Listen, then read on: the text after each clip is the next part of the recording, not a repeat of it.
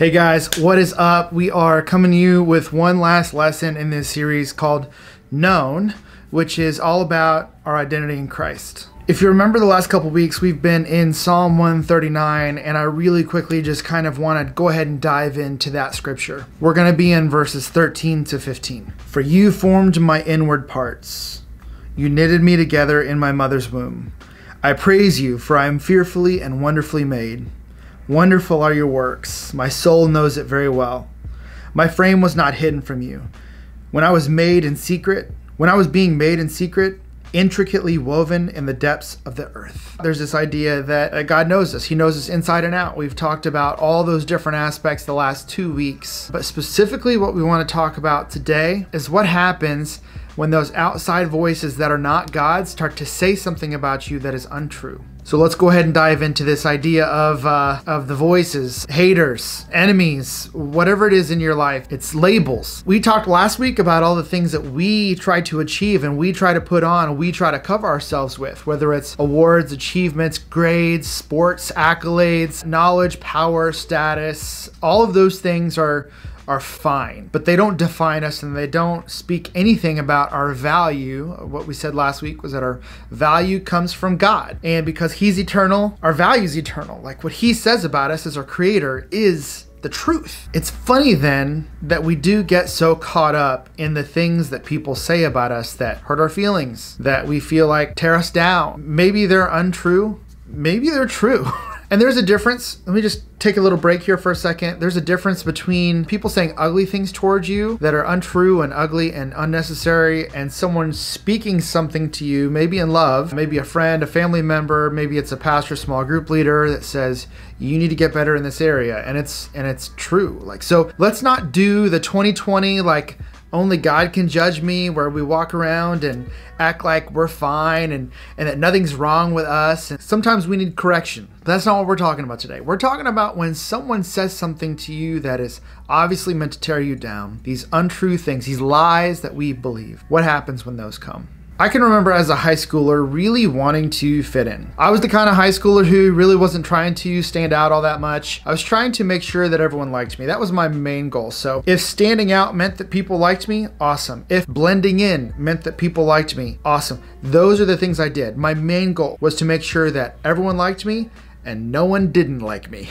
that's it. That's if you want to get to know high school Mark, that's what it was all about. Uh, until I found Jesus, until I found my identity in Christ, I really was putting my identity in what other people thought about. And what that means is, is that I was susceptible to any ugly thing that someone said about me. And I, as a 37 year old, almost 38, can remember vividly the things that people said about me in high school. I'm going to just go ahead and give you a glimpse into what it's like to be an adult. Sometimes these ugly things happen to us and we just never forget. Now, now we learn in scripture that forgiveness is a huge part of the Christian faith and we've been forgiven so we also ought to forgive. It doesn't mean that we forget. I think this whole forgive and forget line is great for rom-coms and coffee cups, but I haven't forgotten some of the things that people have said to me over the course of my life. I probably never will. So let me just go ahead and give you a heads up. Time doesn't heal all wounds that way. So what do we do? How do we deal with it, right? It's devastating in the moment when someone says something about that. Maybe it's rumors going around school. Maybe it's a friend who said something to you that was so hurtful and so surprising because this is a loving, trusting friend, but these words that came out of their mouth obviously were meant to hurt you. The thing that I want to say, this is going to sum up the whole lesson. When you hear things about you that are untrue, it's good to replace those things with things that God said about you that are true.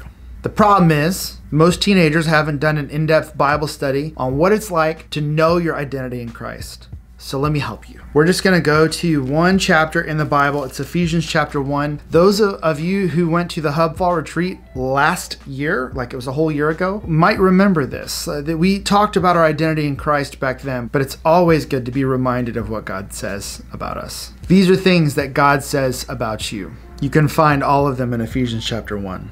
Blessed be the God and Father of our Lord Jesus Christ, who has blessed us in Christ with every spiritual blessing. So these are all like blessings that he's going to share about you. These are these are like points of your identity. He chose us in him before the foundation of the world, that we should be holy and blameless before him. In love, he predestined us for adoption as sons through Jesus Christ, according to the purpose of his will, to the praise of his glorious grace with which he has blessed us in the beloved.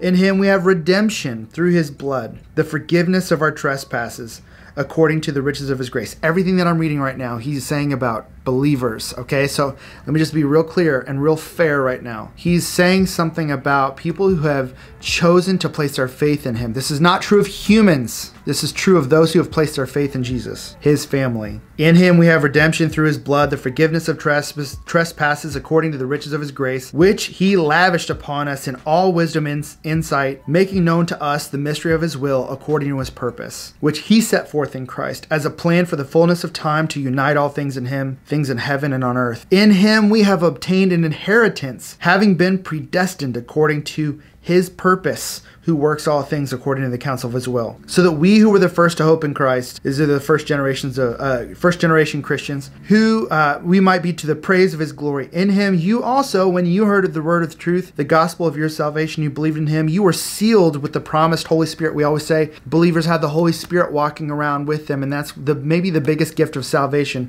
It's not the biggest gift. You were saved from your sin. You you're you're a friend of God. Your your sin has been paid for. To have a, a companion, a helper, a guide guide, a comforter, one who convicts us and reminds us to get on the right path, like all times, like God with us. He's the guarantee of our inheritance until we acquire possession of it to the praise of his glory. There's more. I mean, it's all in the Bible, but you've got to know these promises in scripture that are given to those of us who call ourselves Christ followers. You've got to know them because when these people say things about you which are untrue or hurtful or meant to meant to tear you down, you need to be able to replace them with things that God said about you. Because why? Why? Because it doesn't matter what that middle school or high school bully says about you. It matters that God, who created you, right, and crafted you, like He knew you, He knitted you together in your mother's womb. It's important that you know what He says about you, not what some rando says on a passing day who might forget it five minutes later. You need to be equipped with knowledge about what God, your Creator, your Savior, your Lord, your King,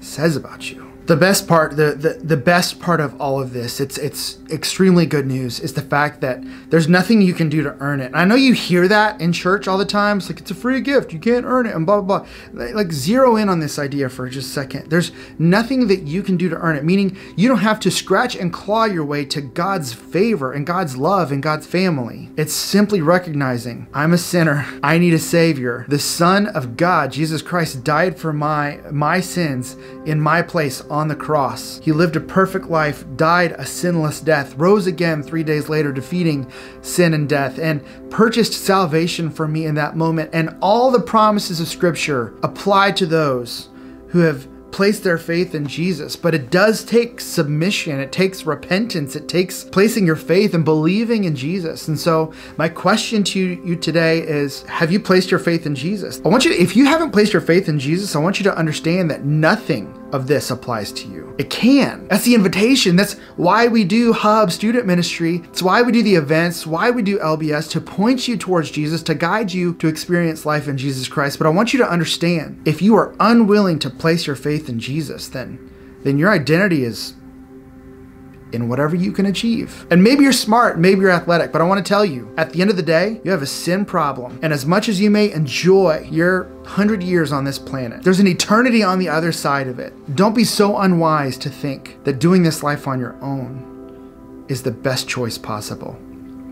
Just because you see your achievements here on this planet and you can't see with your physical eyes, God, I want you to see with spiritual eyes the truth of Scripture, the truth that God loves you so much. So I'm inviting you, those of you who have not placed your faith in Jesus, to do so today. It's it's simple. And I even hesitate to pray a prayer for you to repeat like I want you to place your faith in Jesus on your own terms. I did it myself in my bedroom with no one leading me because I had been in church for 16 years and I, I knew all the stuff, but it's the raw, real emotion of a 16 year old in his bedroom. I placed my faith in Jesus and I began a relationship. I became a new creation in that moment. And you can too. And, and if I can just say it this way, if you are are someone who is placing your faith in Jesus for the very first time right now, I would love to help you. You can reach out to me. My cell phone number, 614-969-8601. You can text me, you can call me. Those of you who are walking through tough times, I want you to be well acquainted with the things that God has said about you that are